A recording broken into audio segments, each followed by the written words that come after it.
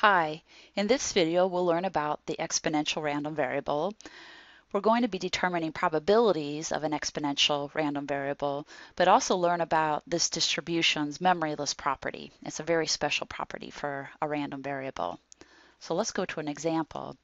Let x denote the time between detections of a particle with a Geiger counter and assume x has an exponential distribution. You can see uh, the probability density function here of the exponential distribution with a mean of 1.4 minutes.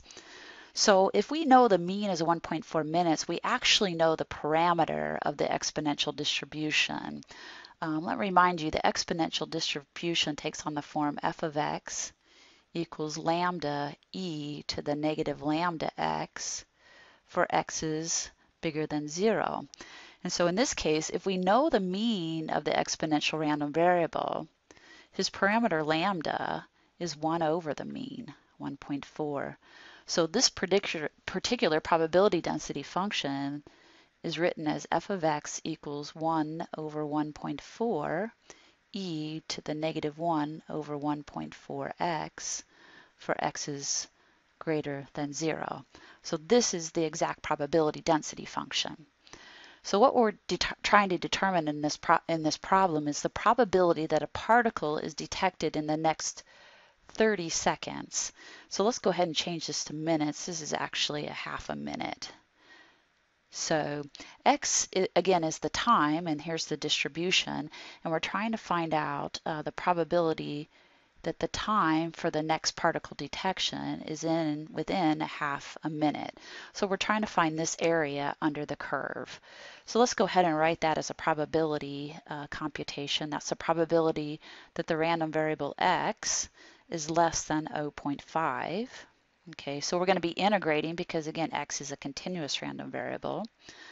So this is the integral from 0 to 0.5 of f of x, and here's our f of x.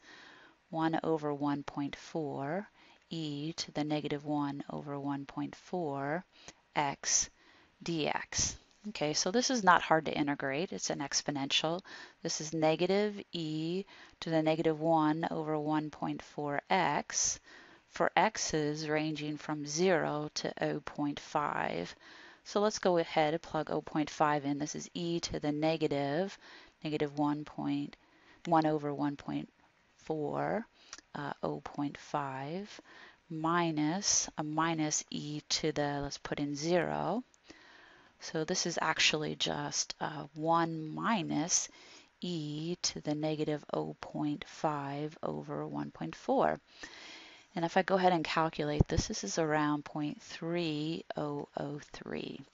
So in this first prob problem, we were just looking at the probability that uh, a particle is detected within the first half a minute, and we're given the probability density function. We're able to compute it because we're given the mean of the exponential random variable, which tells us the parameter. So now we're going to go on and continue this problem um, and show what I mean by the memoryless property. So we start off with the same conditions. Uh, x is uh, the time between detections of a particle. Uh, x has an exponential distribution with a mean of 1.4 minutes. But now we're going to look at uh, a, a, conditional probability. So suppose that we turn on the Geiger counter and we wait three minutes, so three minutes, and we haven't detected a particle. What's the probability that a particle will then be detected within the next half a minute. So let's again remember that 30 seconds is half a minute. So we're trying to find a conditional probability here. So let's just at least set up the statement first. So um, this is the given that. So probability, we're trying to find something given that. In this case, um, x, we know, is greater than three minutes. Um, if we haven't detected a particle, we've waited three minutes, haven't seen anything, then we know that the, the detection of the first particle is at least greater than three minutes. So now we're trying to figure out what's the probability that we see a particle within the next half a minute given we've waited more than three minutes. So this part of the conditional is x less than 3.5. And now we have our statement. So we've learned earlier how to compute conditional probabilities. This is just the probability of x less than 3.5 and x bigger than 3 divided by probability x greater than 3.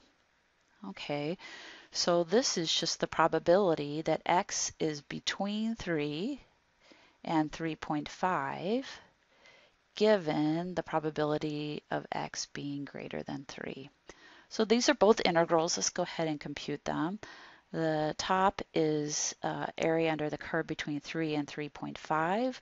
This was our probability density function, e to the uh, dx. Okay, and on the bottom, the probability bigger than 3 is 3 to infinity, 1 over 1.4, e to the negative 1 over 1.4 x dx. Okay, let's make sure you see that. Okay, so this top one, uh, the antiderivative is uh, e, or a negative e, the negative 1.4x, and that ranges from 3 to 3.5. And on the bottom, we have uh, negative e, the negative 1 over 1.4, ranging from x equals 0 to infinity. So in the numerator, we're going to get uh, negative e to the negative 1.14 times 3.5. Uh, minus a minus will be a plus e to the negative 1 over 1.4 times 3.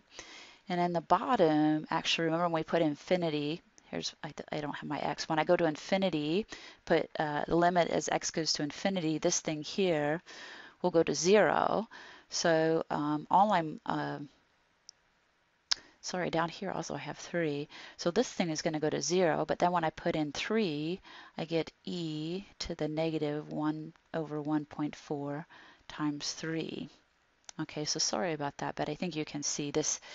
Before I had 3 to infinity, it goes from 3 to infinity just a typo. So if we reduce it, so here's the magic part. I could just compute probabilities and not not really, you know, think and something magic will come out and it'll it'll be amazing. But I think if you go ahead and reduce this, you'll see the really, really neat part. So what I'm going to do is divide both of these values in the numerator by the denominator.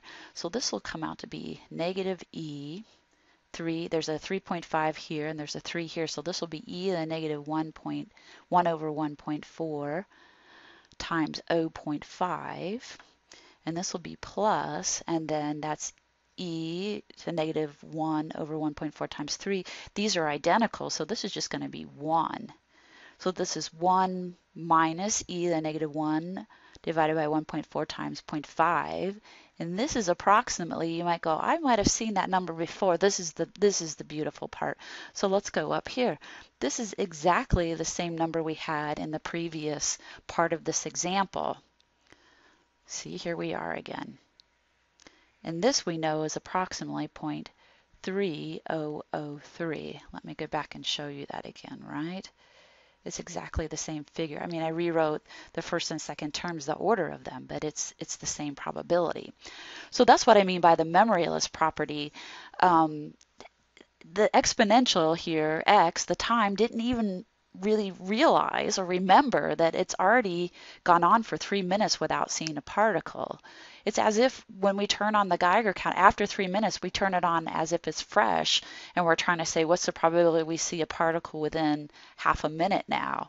So the fact that we've already waited three minutes without detecting a particle doesn't change the fact that we're still going to find the same probability of detecting a particle in the next 30 seconds. That that first three minutes without seeing a particle is is irrelevant. It's as if again three minutes have gone on and you could act like you turn on the machine, turn it off and turn it back on again. And we're really trying to find the probability we see a particle within the next half a minute. So this is identical. I mean, defining probability that x is less than 0.5. And that's what we mean by the memoryless property. So I hope, um, I think this is a really cool example because I do like, um, I, I, I hope that you can see here that there's nothing magic. I was just doing an exponential computation and this is what comes out. And it will always be that case with an exponential that is memoryless. And so anytime you have an exponential distribution, you can apply that property. So just as a review again, um, X was a uh, exponential random variable. We got its parameter from knowing its mean. We found the probability uh, of x being less than half a minute by integrating. Um, and the next problem, what we did is we looked at a conditional probability, which in fact turned out to be to have the same probability as the original problem we calculated. And we found out this is due to that memoryless property. So I hope what the memoryless property is saying to you makes sense. It's again, this you've already gone three minutes without seeing a particle. What's the probability you'll have to wait less than three and a half minutes? That's going to be the same probability as if you just turned on the Geiger counter and have to wait less than a half a minute. So that's what we mean by memoryless. So I hope this has helped and uh, we'll talk again.